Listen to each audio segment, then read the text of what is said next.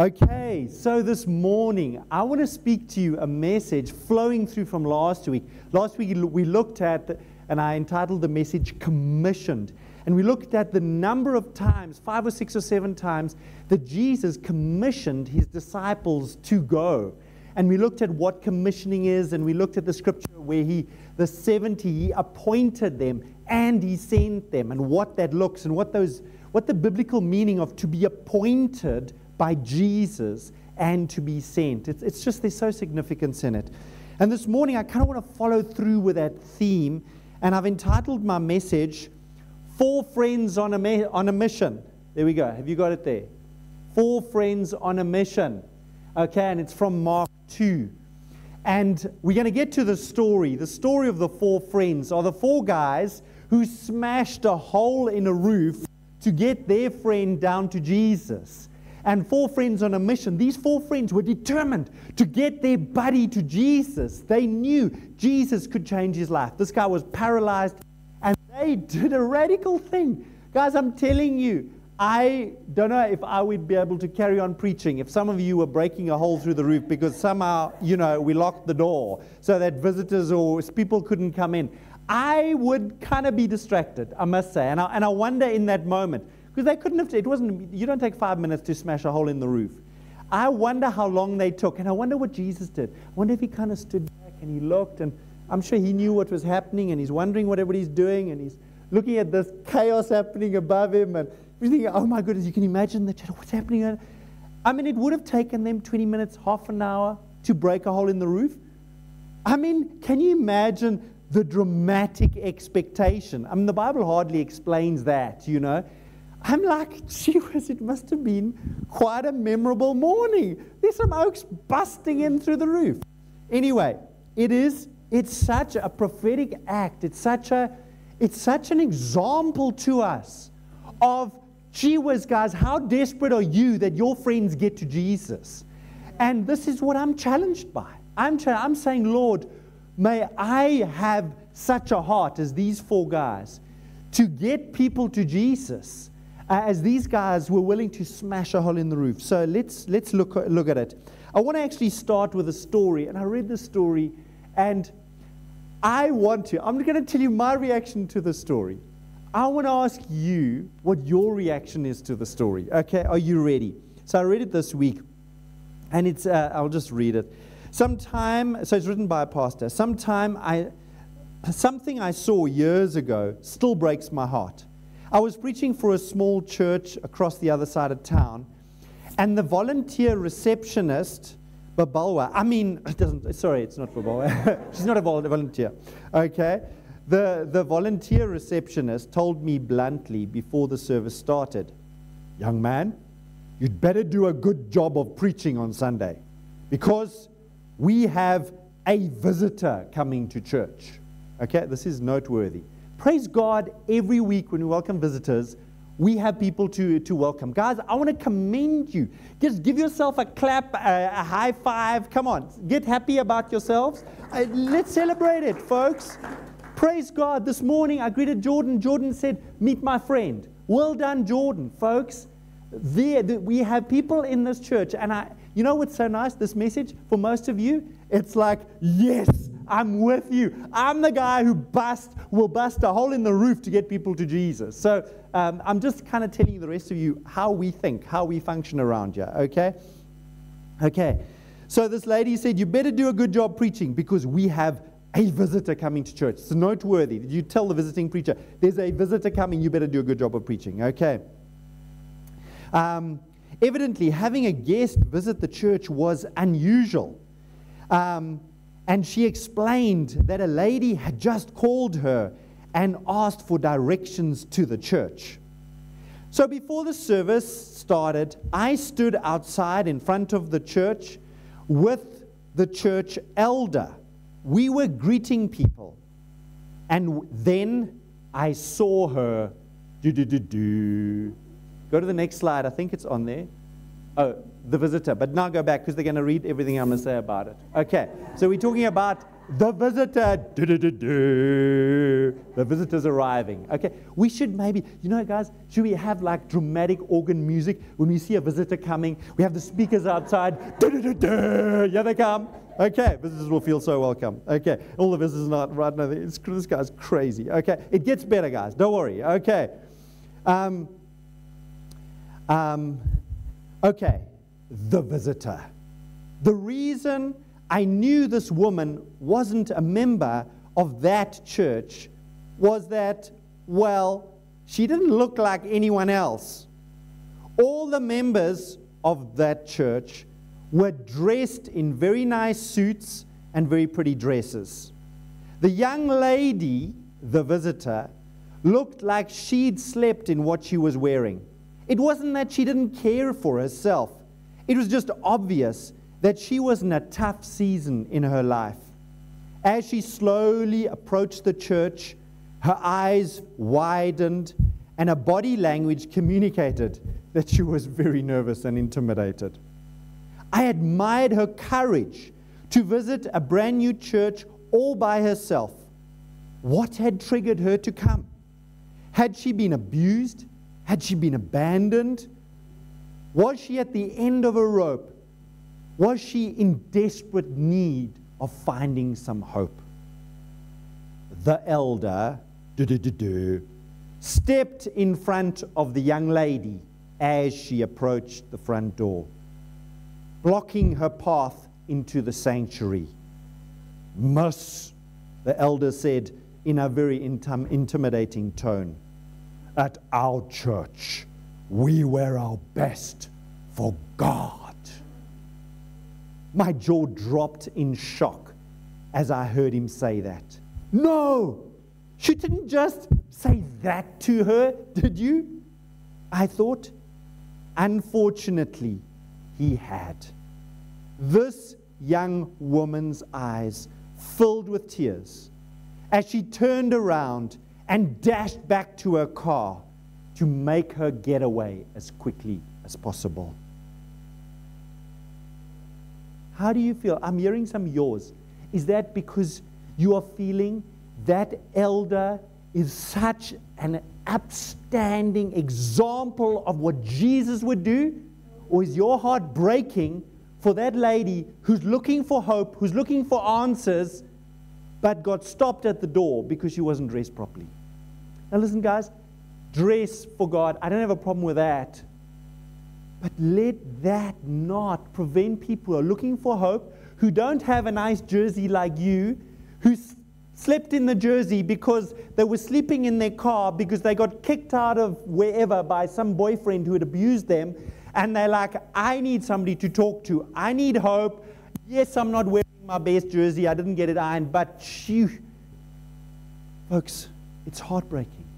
It's heartbreaking. Folks, today, how many visitors wanted to come to churches all around the world? They drove up to the church, they looked at how the people were, or, God forbid, some elder stood stopped them from coming in the front door saying, You're not dressed properly for church. It's, for me, it's just like, it's mind blowing. It really is. So, let's go on to the visitor slide. What can we learn? What's odd is that churches that appear unfriendly to outsiders can be full of the friendliest people, but only if you're an insider. They are welcoming, they're warm and hospitable to their own. But if you are from the outside or look slightly different, you might be ignored or even shunned. Jesus came for the outsiders, the lost, the broken, the hurting, the lonely, and the overlooked. That woman that came up to that church, I'm telling you, Jesus, I don't know, I don't know if Jesus wouldn't have kind of tuned that elder, if he was the visiting pastor, if he would have kind of told the elder, Excuse me, sir, can I just, uh, you know, say something over here? And why do I say that? Well, come me to a story Jesus told in Luke 15, where he was, he was addressing in this story on the next slide about the one lost lamb. Jesus tells three stories about lost things a lost lamb, a lost coin, and a lost son. But he's speaking to the elder who wants to block people from coming to church because they're not dressed properly. That is who Jesus is addressing in these three stories. We're just going to look at one, the lost lamb. Folks, this is the heart of our Jesus.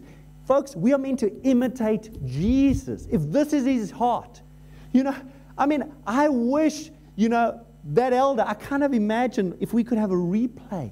You know, a warm welcome from him. It's like, so good to see you. You know, I kind of picture Jesus running to the girl out in the car park, you know, opening the door and say, so glad you came. You know, are you the one who called this morning? Are we so glad you've come? And maybe knowing that if there's a lady coming, maybe getting a lady say, listen, somebody's come. I mean, if visitors are so rare in the church, it's like Jesus, I believe, would have made super effort to make that person feel welcome. Let's read the story. Luke 15, verse, uh, verse 1, and it goes to verse 5. Many dishonest tax collectors and other notorious sinners often gathered around to listen as Jesus taught the people. In one translation I, I read, it said, all the tax collectors and sinners. It's kind of like all the, the non church types were hanging around Jesus. This raised concern with the Jewish religious leaders, or the elders in, in, in our story, and experts of the law. Indignant, they grumbled and complained, saying, Look at how this man associates with all these notorious sinners, welcomes them all to come to him. Kind of sounds like the elder in our story, hey? In response, this is Jesus' response.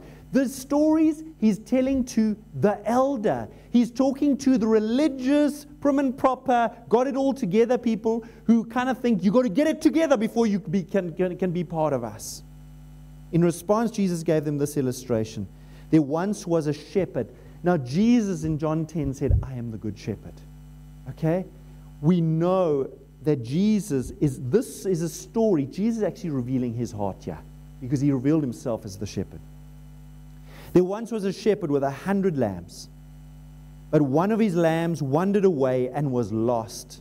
So the shepherd left the 99 lambs out in the open field and searched in the wilderness for that one lost lamb. Folks, wilderness in those days was a wild place where there were lions and bears and all kinds of scary animals that ate sheepies that went wandering off. That little sheepy that was wandering off, I'm telling you, was in trauma because it was seeing all kinds of scary things. It wasn't imagining things, there were scary things out there. He didn't stop until he found it. He didn't stop until he found it. Folks, this is my Jesus. He's not going to stop pursuing us, folks. He's not going to stop pursuing your family and your friends. Folks, when Jesus is going after people, those four guys that brought, they didn't stop because they couldn't get their friend in the front door. They were like, we're going to make a plan. You know, maybe, thought comes to mind. You, you know the saying, a boer maak a plan? A, a, farmer makes a plan. Maybe these guys were farmers. Hey, what do you think? Because they made a plan. okay, we're going to get them to Jesus. We're going to get our friend to Jesus. He didn't stop till he finally found it. Folks, I want to tell you do you sometimes stop playing, praying for friends, colleagues, family who don't know the Lord? That's not the heart of Jesus. With exuberant joy, he raised it up. He picked up this lamb and placed it on his shoulders, carrying it back with cheerful delight. Look at that closeness of being carried by Jesus. And look at the joy of Jesus. Returning home, he called all his friends and neighbors together and said, Let's have a party. Come and celebrate with me. The return of my lost lamb. It wandered away, but I found it and brought it home. Folks, look at the celebration of Jesus. The Bible says about Jesus that he was anointed with joy above all his companions. And, folks, we know from Scripture one of the greatest joys. Why was Jesus so joyful? Absolutely, the Holy Spirit brings joy. It's a fruit of the Holy Spirit. Because Jesus was getting lambs. Jesus was walking around Galilee, going from town to town, and he was finding lambs that he'd been praying for for uh, a hundred years, thousand years, ten thousand years. People he'd been praying for, so looking forward to reaching them, seeing faith igniting them, seeing them turning from their sins. Jesus was happy. He was seeing his prayers, his, the desire of his heart being answered. Verse 7 Jesus continued in the same way. There will be a glorious celebration in heaven over the rescue of one lost sinner who repents, comes back home, and returns to the fold. More so than for all the righteous people who never strayed away. Wow. Folks, this is Jesus. Think my story of the, the lady who's wearing the, the, the crinkled uh, clothes and the elder. Where would Jesus be in that story? It's just so, so challenging. Motivated by love on the next slide. This pastor, Pastor Vince Antonucci, said this If you are not close to people who are far from God, you are not as close to God as you think you are. Because God's heart is always with people who are far from Him. Jesus is going after the lost. The Bible says, Jesus said, I came to seek and save the lost. He's going after the lost.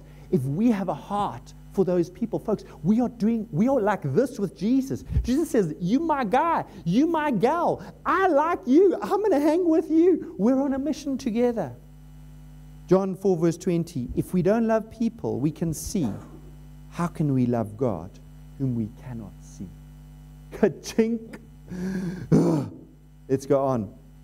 The greatest commandment in Matthew 22 Jesus, again, talking to religious people who come to him and ask him this question religious leaders, Teacher, what commandment is in the law is the greatest? Okay? Some people say in the Old Testament there were 700. I've heard, I mean, it depends, and they, they made more. I mean, there was up to 7,000 that the Hebrews added to the ones given in, in, in, the, in the Old Testament. Jesus answered him, Love the Lord your God with every passion in your heart, with all the energy of your being, and with every thought that is within you. Kind of, do you see that when we, when we say we're passionate about Him and people, it's kind of Bible? Okay, this is the Passion Translation. That is the great and supreme commandment. When we talk about the great commandment, this is it. But Jesus, the guy asked him, Give me one. And Jesus said, I'm giving you two. Look what he said. And the second is like it in importance. Folks, you, you know, if you're a religious dude and, and, and okay, Jesus said, Love the Lord your God with, how does he say it in the Passion? Every passion of your heart, with all your energy in your being, and with every thought that is within you. That's, that's like high level stuff. I mean, this is spiritually on fire, blazing for God stuff. And Jesus said, and the second is like it in importance. Whoa, Jesus, whoa, what are you going to say now? You must love your friend in the same way you love yourself. Wow. That word friend, the Passion uses here, many translations use the word neighbor. Um, eh, that would also be translated your countryman. Okay? Countryman, we're in South Africa. That means a person who is in this country and is human like you. It's, this, is, this is incredible stuff here contained within these commandments to love, you'll find all the meaning of the law and the prophets. I just love that. All the law and the prophets. The, if you boil it down, the point of it, we would love God and would love people. Passionate about Him and people. That is the great commandment. Last week I looked at the Great Commission go into all the world and make disciples. And I want to it together with this quote, which, which I've often shared, but I thought I'll put it up here again. We hear people passionate about Him and people. You wondering where that comes from? A great commitment to the great commandment, which we've just read, and the great commission, which we looked at last week, builds a great church. Rick Warren said that. I heard it years ago, and I said, wow, that really resonates with my heart. This is what I want to be about. This is what I want to be about. This is what we're about go to the next slide. Many churches unknowingly focus inwards. And this is, folks, you know, this is so. The, the greatest command with all your passion, with everything inside, to love God. We can so easily, like, this is all we're about. But Jesus said there's something else that's just like it. Many churches unknowingly focus inwards. I underline that because I was like, sure, this is so true. Forgetting the people who need Jesus the most. These churches are like a hospital that no longer accepts patients or a soup kitchen that no longer feeds hungry people. Helping people find new life in Christ and grow in Christ is our mission. A passion to share Christ consumes us in a beautiful way. It's an obsession with reaching people who don't yet know Jesus. This is not something we add to our mission. This is our mission, the Great Commission. Folks, this is, this is who we are. So I want to come now to the four friends. I told you I'm going to tell you about the four friends on a mission. So let's read the story. It's Mark 2, and I'm reading again from the Passion. Several days later, Jesus returned to Capernaum, and the news quickly spread that he was back in town. Soon, there were so many people crowded inside the house to hear him that there was no more room, even outside the door. While Jesus was preaching the word of God, four men arrived carrying a paralyzed man. There we go, the four men. When they realized that they couldn't even get near him because of the crowd, they went up on top of the house and tore away the roof above Jesus' head. I did a bit of research about, I mean, I'm thinking, what did that look like? You know? and folks, they let him down on a stretcher. Do you know how big a stretcher is? It's, it's kind of the length of a man lying down. That's a big hole in the roof.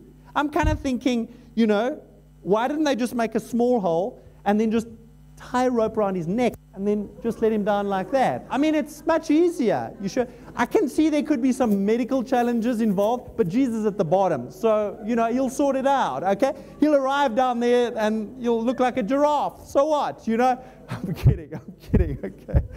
You know, these crazy thoughts come to me sometimes when I'm preaching, okay? I'm glad that, are you also glad? Although it would have been a double miracle then. The paralyzed man who died, Jesus resurrected him from the dead, and, you know, healed his paralysis. Okay? It would have been, it would have still been an impressive miracle. But, you know, you generally don't want to let your friend through a hole with a rope around the neck. Okay? Anyway, so it's a big hole. That's what I'm saying. It's a big hole. It's a lot of, it would have taken a while to smash a hole like that. No, we don't know. It, the Bible doesn't say what implements they They would have had to have some implements because how did they make roofs in those days? They were generally flat top roofs. What they would do, they would put um, uh, uh, beams across, which are, which are, you know, logs, I don't know how thick. They would put a couple of logs across in, in, at a spacing. I mean, the one commentary said the, the, the logs were maybe three feet apart logs. And then across the logs, they would put reeds or branches quite closely packed together. And on top of that, they would pack mud that would then dry into that. And it would be a decent thickness because you would actually go on top of the roof very often when it was very hot. These houses didn't have good ventilation, didn't have big windows you could open, etc.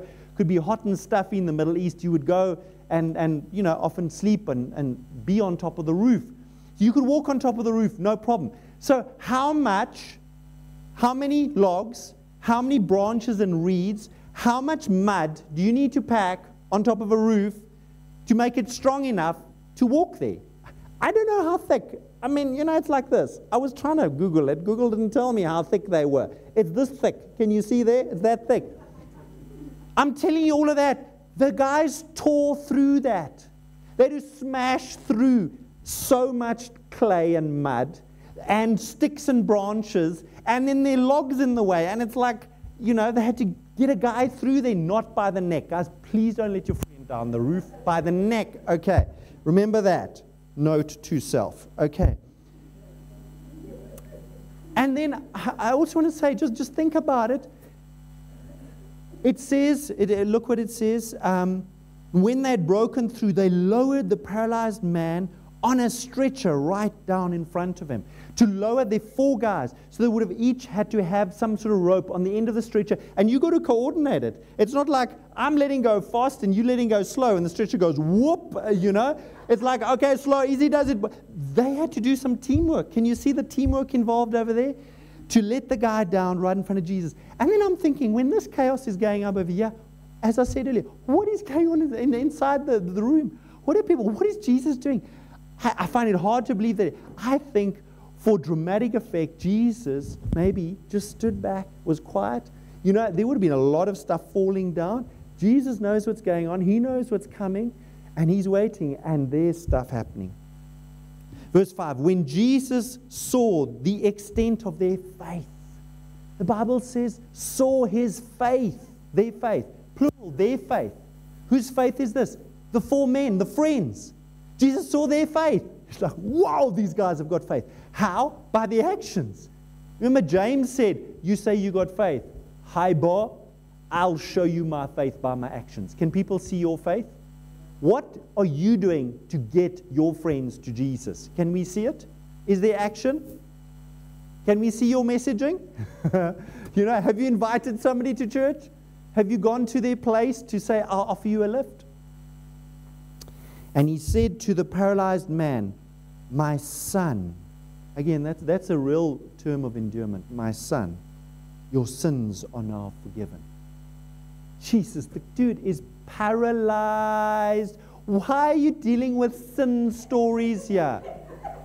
Oh, Jesus, he's on a stretcher for pizza. Can't you tell? The dude needs healing. Forget about the sin story. Jesus knew what he, his greatest need was. And everybody in that new room knew there's only one person that can forgive sin. Okay? How many of you have on your business card Sin Forgiver Incorporated? How many have said, This is my ministry? I forgive people their sins. Well, if they sin against you, that's good. But what happens if has got nothing to do with you? Are you going to forgive their sin?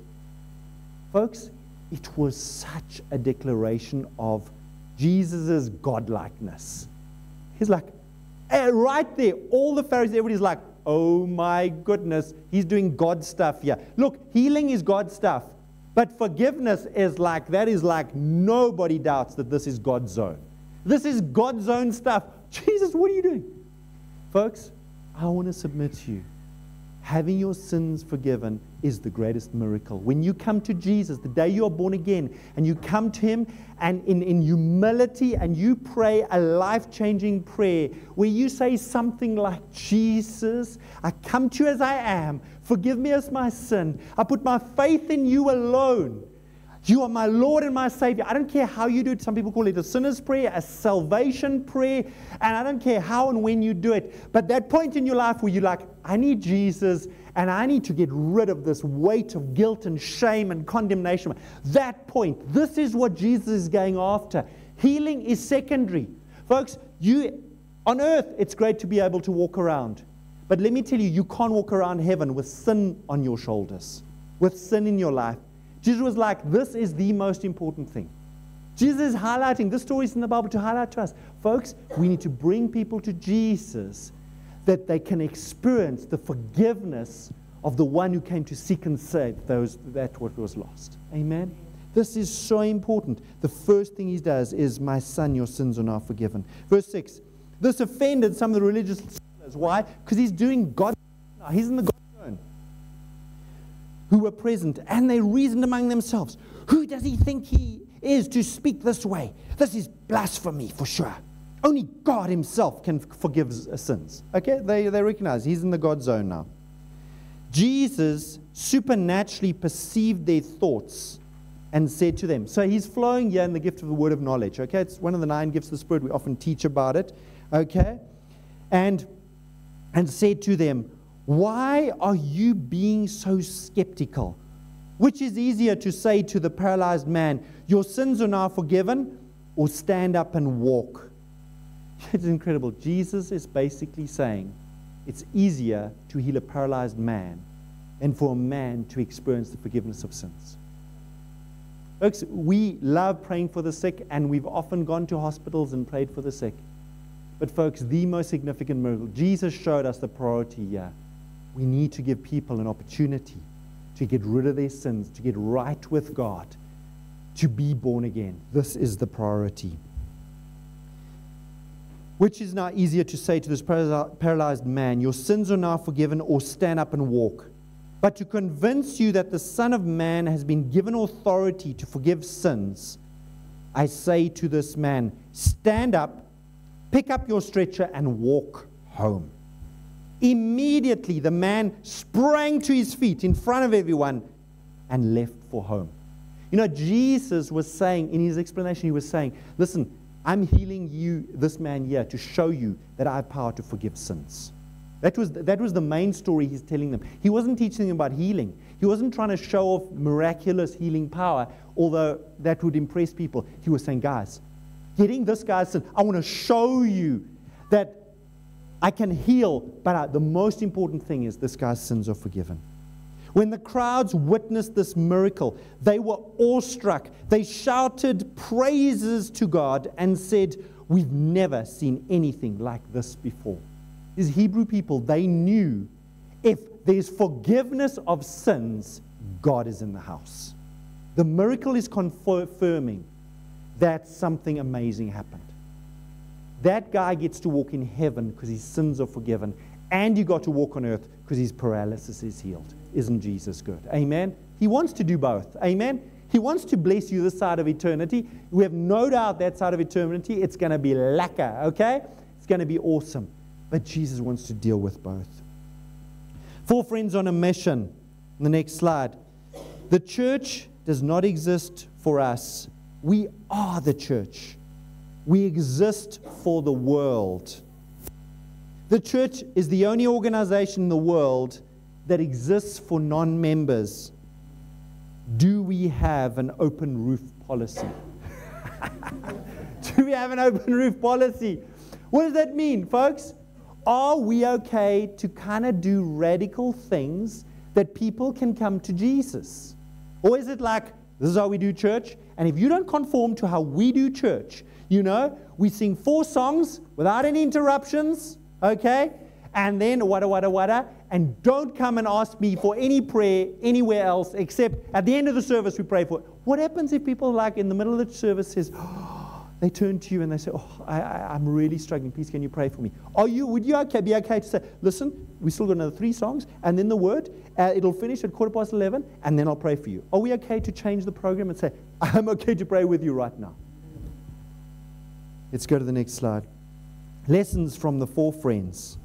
Firstly, they recognize that their friend needs Jesus.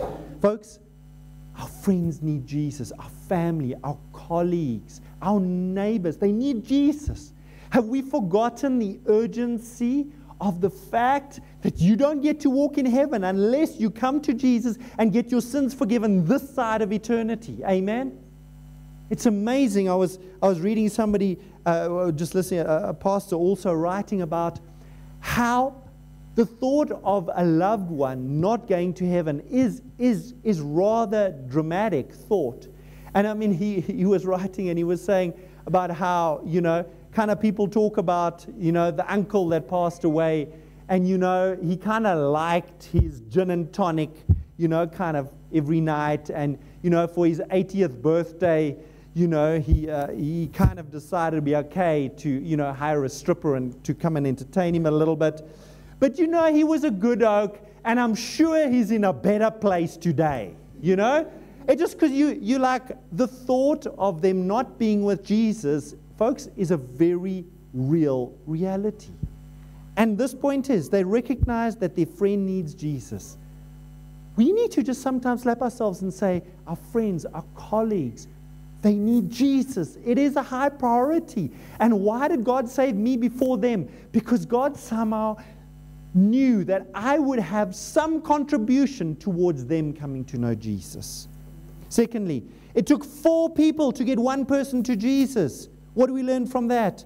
The Great Commission requires teamwork. The Great Commission requires teamwork. We need prayers, inviters, engagers, friends, servers, etc. Folks, we have got to maintain healthy connections with those who don't know Jesus. Folks, I'm saying healthy connections because unhealthy connections we need to break. I'm not saying if you in a in, in if somebody has a negative influence, the Bible says bad company corrupts good character. If you one person in a group in a, in a, in a group of bad company, don't think I'm here for Jesus while you're getting plastered every Friday night in the pub, thinking, huh, I'm here shining for Jesus. Uh, uh, yeah? Yeah? No, no, no, no, no. It's working the wrong way around there. We need prayers. We need inviters. We need engagers. We need friends. We need servers, etc. You know, they say, and this is just in marketing terms, before anybody will engage with a new product, they need at least five different about a new product. Now, that is just what people have found about, you know, marketing any product. Folks, when we talk about Jesus, don't underestimate your little contribution to the teamwork that we are all doing that people would come to know Jesus. Amen. I don't know if your role is to be prayer or inviter. I mean, those four guys, somebody must have invited that guy to say, hey, let's go to Jesus. Engages. That is the person who actually talks to them. Having a spiritual conversation with people is so vital. And there are times God's going to give you the words to say to have a spiritual, significant conversation with people. Friends, just being a friend. Friendship is so important. To be service, some people are just so good at serving. You know, yeah, you're sick, I'll bring you meal. Can I, can I give you a lift? Uh, you know, can I help you with your studies? You know, uh, at work, somebody's struggling and you just, man, I, I, I can help give you some pointers. All life giving engagements. What else can we learn from the four friends? they broke through the roof. What do we learn from that? They had determination to do whatever is necessary to get their friend to Jesus, to do whatever is necessary. And I love this Life Church, which is the, the, the church that does the, the, the Bible app, the YouVersion Bible app. Uh, one of their values, I was, I was looking at this, they say this We will do anything short of sin to reach people who don't know Christ. To reach people no one is reaching, we'll have to do things no one is doing. Guys, I was thinking, do you think we should sort of make a, a door in the roof over here for people who can't get in the door? what does it look like? Let me tell you, Life Church, why do we have the Bible app? Half a billion people have the Bible, app, the YouVersion Bible app. How many of you have the YouVersion Bible app on your phone? Okay? How many of you paid a lot of money for it? Nobody. It's free. Okay? This church have a hundred paid staff members, get paid every month to provide this. Why? This is their mission. We will do anything short of sin to reach people who don't know Christ. To reach people no one is reaching, we'll have to do things no one is doing. I heard the story. They started, they, they, they started a, a website where they wanted to provide Bible resources to people free. And they started the web page, and it was a, a disaster. It didn't work. There was no, no people were coming to it. And then they decided, well, let's do an app. And folks, the content, I mean, if you go look, I'm astounded at how many Bible translations are in the YouVersion. It's quite amazing. They had to go and signed uh, copyright agreements with all of those publishers so that they could have it because it's, it's, it's, it's copyrighted material. Most of the material, all those Bibles, all the, it's copyrighted. Folks, that's a lot of work. That's a lot of legal eagles spending late nights thinking up the legal jargon and, and, and contractual requirements to make it free because all these publishers who, who have their content on there, those guys are getting, they do it for money. They, they, there's a lot of big uh, publishing houses in there. I don't know how they did it, but there is some serious contractual agreements that they've entered into. Half a billion people are on that. Why? We will do anything short of sin to reach people who don't know Christ. To reach people no one is reaching, we'll have to do things no one is doing. And finally, what do we learn from our four friends? They had real, visible faith in Jesus to change lives. Jesus said it. I see your faith. Smashing through the roof.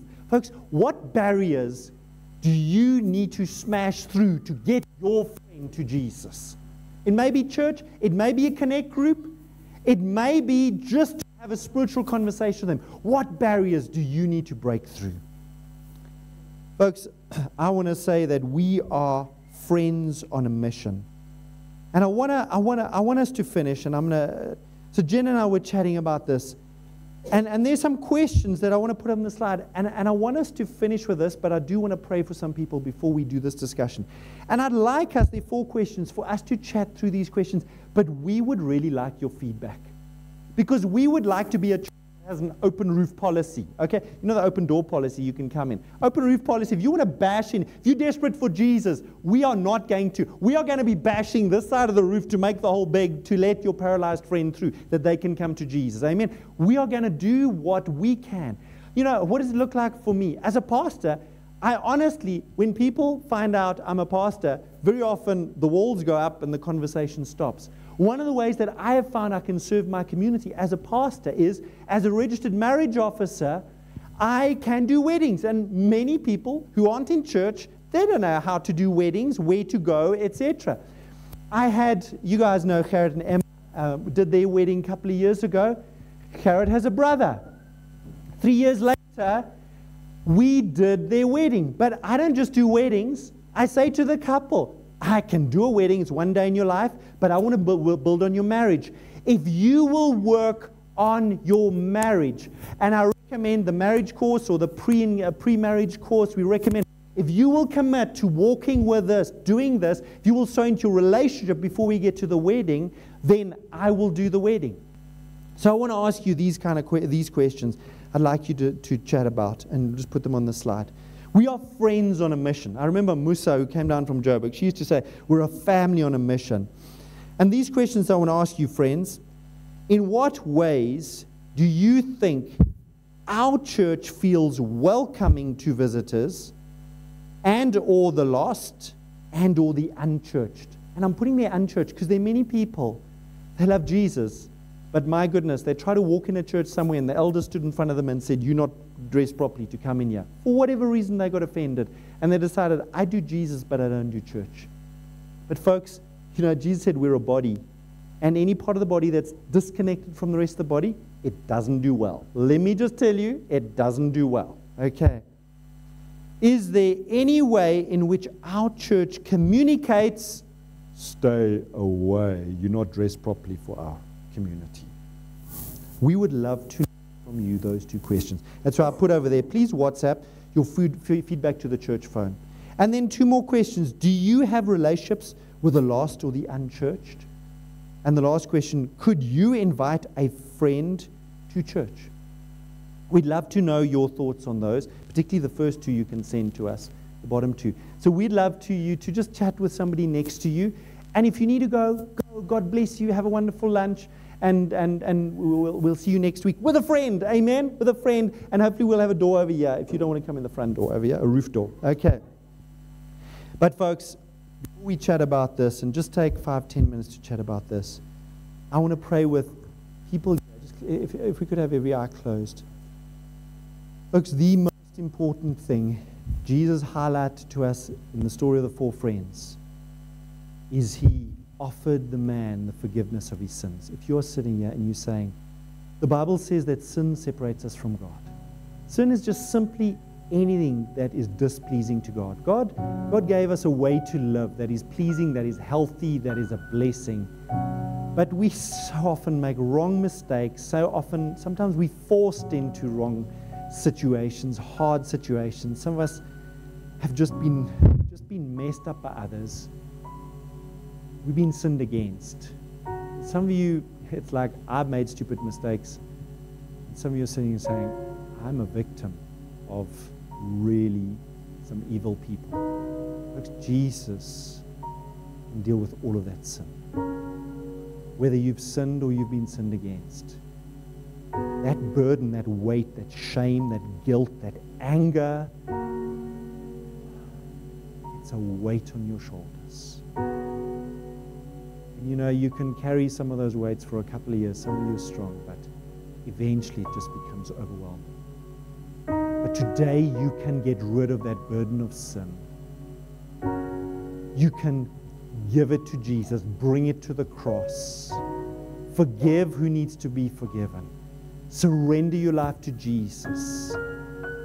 Ask Him to be the Lord of your life, to come and take the burden. There's anybody here, and you say, Pastor, would you pray with me? Every eye is closed.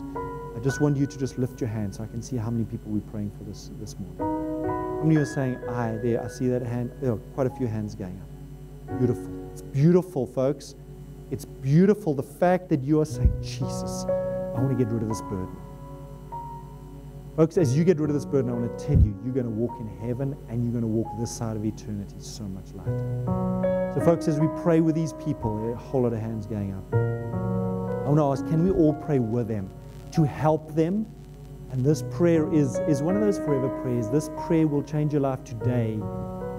This is a constant. We constantly are walking this way.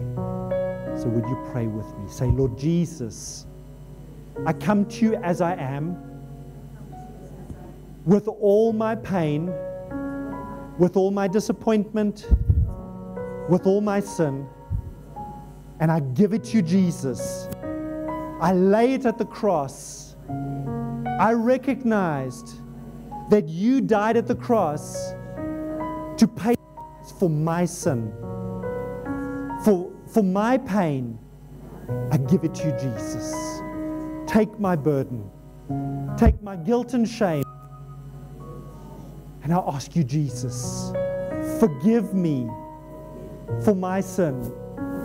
And I choose to forgive others that have sinned against me.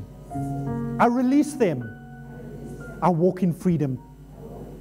I ask you, Jesus, be my shepherd, be my Lord. Jesus, carry me back home like you carried the lamb in the story.